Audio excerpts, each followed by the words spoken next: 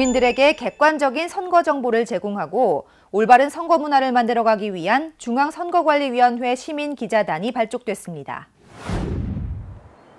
지난 1월 24일 서울 파트너스 하우스에서는 중앙선거관리위원회 시민기자단 발대식 겸 워크숍이 개최됐습니다.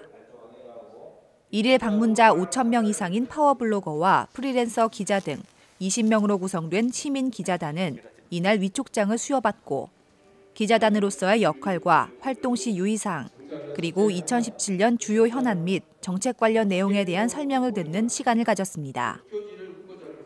시민 기자단은 앞으로 제19대 대통령 선거시까지 선거제도, 장비, SNS 이용 선거 운동 시 유의사항과 같은 중앙선관위가 제공하는 정보 자료들을 바탕으로 콘텐츠를 제작해 블로그에 포스팅하는 등의 온라인상 여러 활동들을 함께 펼치게 됩니다.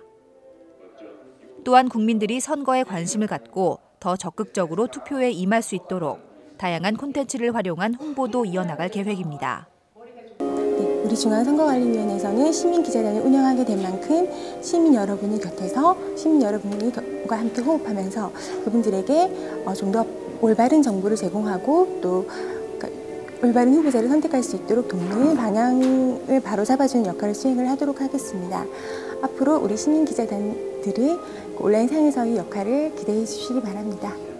아, 이번 대통령 선거가 음, 공정하고 깨끗하게 이루어질 수 있도록 그 블로그는 물론 다양한 SNS를 통해서 열심히 홍보하도록 하겠습니다. 중앙선관위는 선거 관련 콘텐츠 제작에 필요한 자료를 적극 제공하고 시민 기자단과의 지속적인 온오프라인 모임을 개최해 소통과 공감을 이끌어내는 등의 다양한 지원을 이어나가 깨끗하고 공정한 선거 문화가 확립될 수 있도록 노력해 나갈 방침입니다.